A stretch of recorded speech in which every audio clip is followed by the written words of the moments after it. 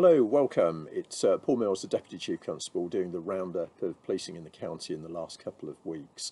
Uh, the Chief Constable's having a well-earned break, hence I'm in the chair.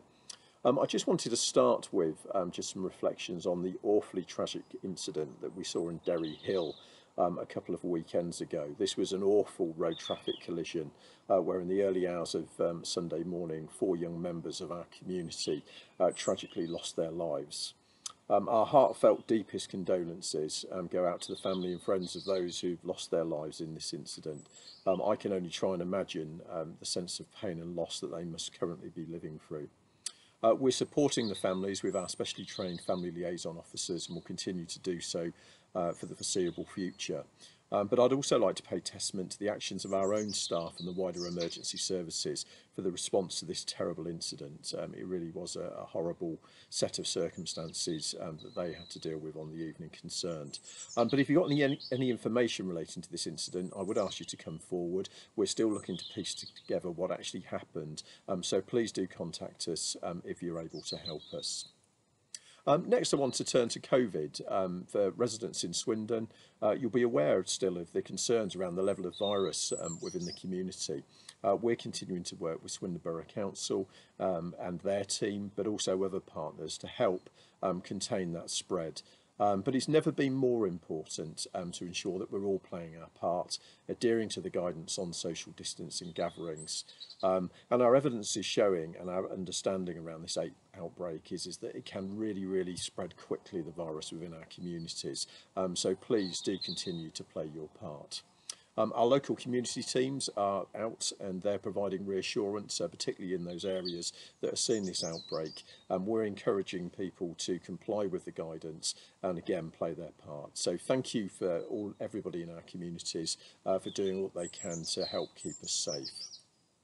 Um, sticking with COVID, um, Friday um, sees the introduction of tougher fines for non-compliance, um, particularly for those who are actually involved in organising illegal raves or unlicensed music events or other gatherings of 30 people where it's unlawful to do so. Uh, the government's introducing really tough fines of £10,000 um, for those that um, look to facilitate or organise those events. Likewise, the fines for those who take part um, are also doubling, and you could see a fine up to £3,200. And I put this in the context of um, across the country, we've seen an increase in these type of events, and indeed last weekend again in Swindon, uh, we had intelligence around a rave which was being planned.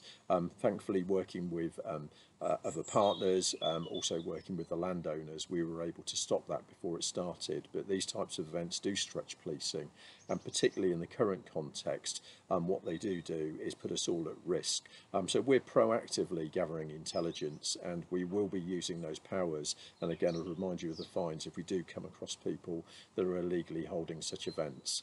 Um, again, with the regulations, we're also seeing an increase in um, in the fines for those not wearing face coverings, and these will double for repeat offences. Um, but importantly, um, thankfully in Wiltshire, we are seeing high levels of compliance. And again, I'd like to thank the public for everything that they're doing. We're not issuing too many fixed penalty notices at this moment in time, but equally, as you would expect us to do for blatant breaches, we will intervene and use those powers if necessary, um, such that we can keep you safe. Uh, so in closing, we've got a bank holiday coming up. Um, it's time, hopefully, for you to get uh, an extra day off and relax and socialise. Um, but uh, I would encourage you to continue to um, take care of yourself and others around you. Ensure that you're social distancing, following the rules. Uh, please do wear your face masks when it's required. Um, and our officers and staff will be out and visible in your communities across the weekend to help keep you safe. Um, so thank you very much for listening and enjoy your weekend.